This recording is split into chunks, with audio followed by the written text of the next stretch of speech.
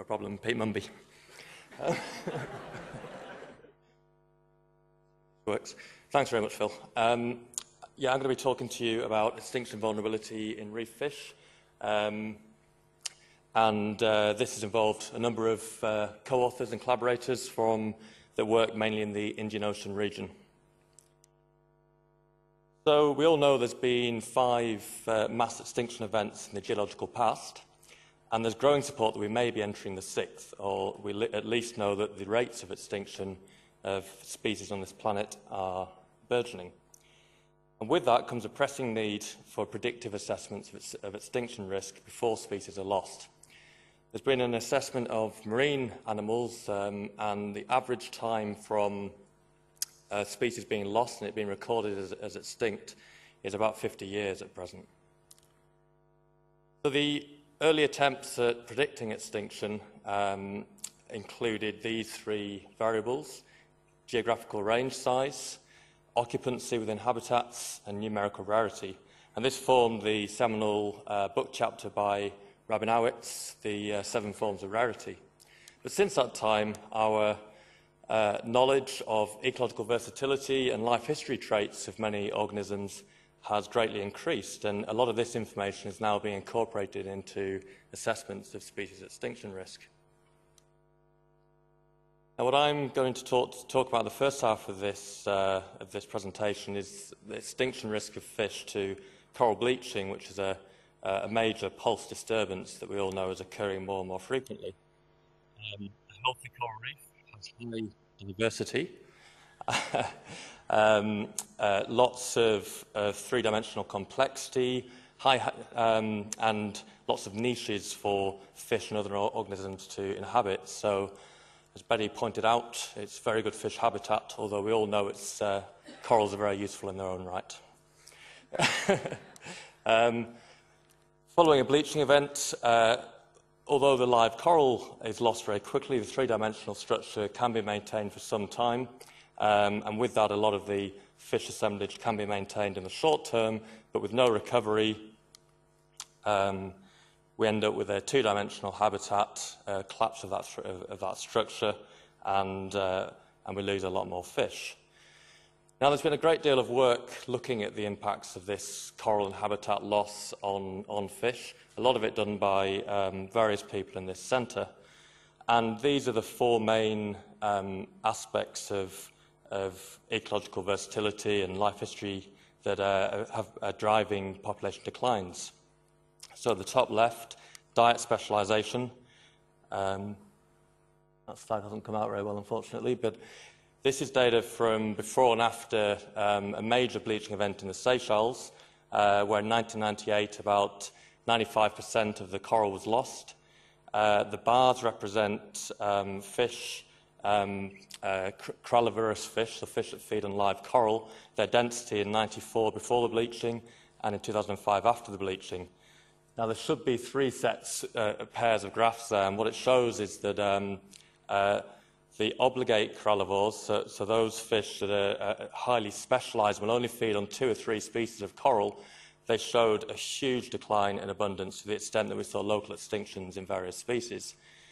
The generalist obligate um, corallivores, we saw a very substantial decline, but no, no local losses. And the facultative corallivores that will take some algae and various invertebrates as well, we saw small, non-significant declines. And uh, Morgan Pratchett, as we all know, has done a lot of, uh, a lot of work along these lines as well, which uh, shows similar effects. Geoff Jones and colleagues, we've already seen this plot today, um, found um, very substantial declines in fish following a loss of, of coral in Kimbe Bay in Papua New Guinea. And, and they discovered that um, uh, up to 65% of the fish species will settle preferentially into coral uh, even if they don't use it as much as adults. And that was what correlated best with declines in, in abundance there. And there's been various other studies supporting this. Habitat specialisation, this particular plot's by work by Phil Munday, also in Papua New Guinea, uh, with increasing specialisation, so the num number of specific coral colonies that different gobies will use, uh, in, so increasing specialisation to the left, there was greater declines in abundance, and Phil documented a local extinction there. Shaun Wilson has done similar work on, on now and found very similar things. And body size has also come out as being very important.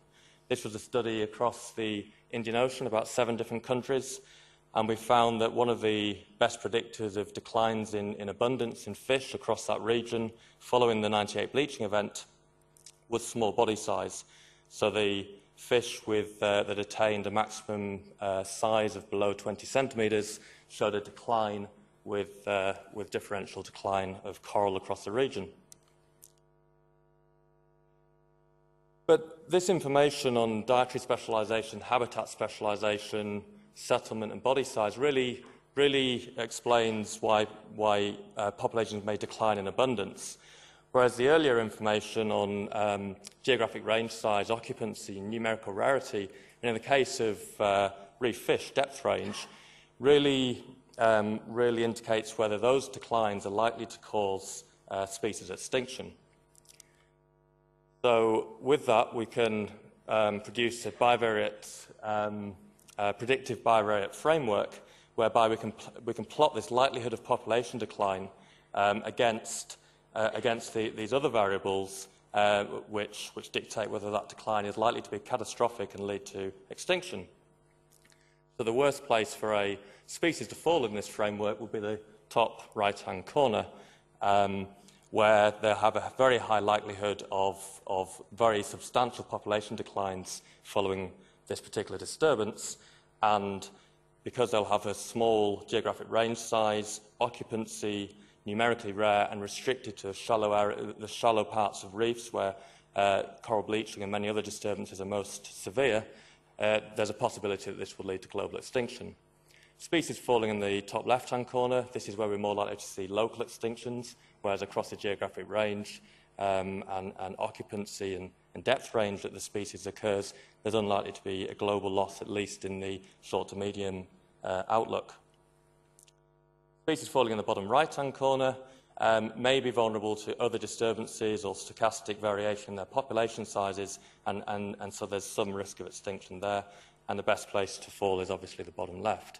So we actually assigned all this information to a range of coral reef fish using data collected by those authors across the Indian Ocean, through the literature and through a lot of expert knowledge. So many people in this room have contributed, uh, and, and we, we aggregated these uh, weighted indexes. For these 134 species of reef fish, uh, they fell into eight different functional groups. What we found was that the, um, the functional groups stratified by their climate vulnerability, their vulnerability to population decline following these bleaching events, and they didn't stratify with extinction risk, suggesting that no individual functional group is um, vulnerable to global extinction, although obligate corallivores uh, are, are, clearly, as a, as a, group as a whole, more vulnerable to local, local loss, whereby all species of, uh, of the group could be lost locally. So obligate corallivores, facultative corallivores, planktivores and some microinvertebrate feeders appear to be the most vulnerable to population declines following these events, whereas um, various herbivore groups, so scrapers and excavators, detritivores, roving grazers, and also the macroinvertebrate feeders appear to be the least vulnerable.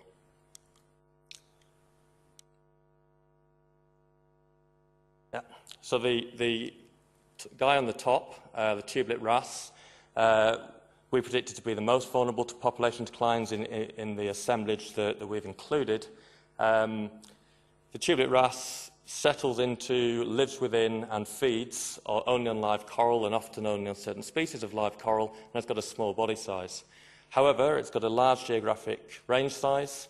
Um, it is numerically abundant when, it, when you find it in a location and it's got a, um, a fairly decent depth range. So we predict that local extinctions are more likely than global extinctions for this species, and indeed we documented a local loss of this species in the Seychelles in 2005. Chaetodon triangulum um, is also very specialised and has a small body size. However, this species is restricted to quite a small area of the Indian Ocean. It's got low occupancy and it's actually quite rare on, on the reefs where, where, where it does occur and it's restricted to the top 25 metres or so of the water column. So this species is, is of more risk to global loss into the future. We um, split up our um, population decline metric, the climate vulnerability metric, into the four different components, and we categorised species as, high uh, as, high, as highly vulnerable if they had a score above 0.7 on a scale to 1 um, uh, uh, in this index, and that was, that's supported by the, by the following slide I'll show in a moment. What we found was that 56 of those 134 species have got a high vulnerability to at least one of these um, different, different predictors, and 37% of, that, of, uh, of the high vulnerability species uh, have multiple risks of population decline. And what's quite interesting, you'll notice that there's no species falling uh, that, that are only vulnerable through habitat specialisation or dietary specialisation. They always have another aspect of their, of their ecology um, that, that's affecting their vulnerability. And seven species uh, within the assemblage we looked at had, uh, were vulnerable through all four of these, uh, four of these different factors.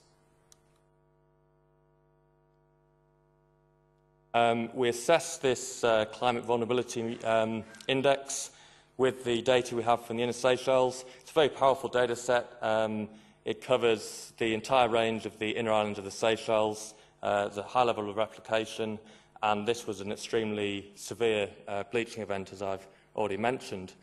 And we found a strong negative relationship whereby the change in abundance of these species uh, was strongly correlated to the, uh, the, the, metric that we produce for population decline, the climate vulnerability metric. Um, I'd like to point out that the, the y-axis, this is a standardized metric to, to take care of uh, skewness in the data, but a, a, a decline of, point, of minus one represents a, a loss of over 60% uh, of the abundance of that species. So these are non-trivial declines. We then assessed on the next slide.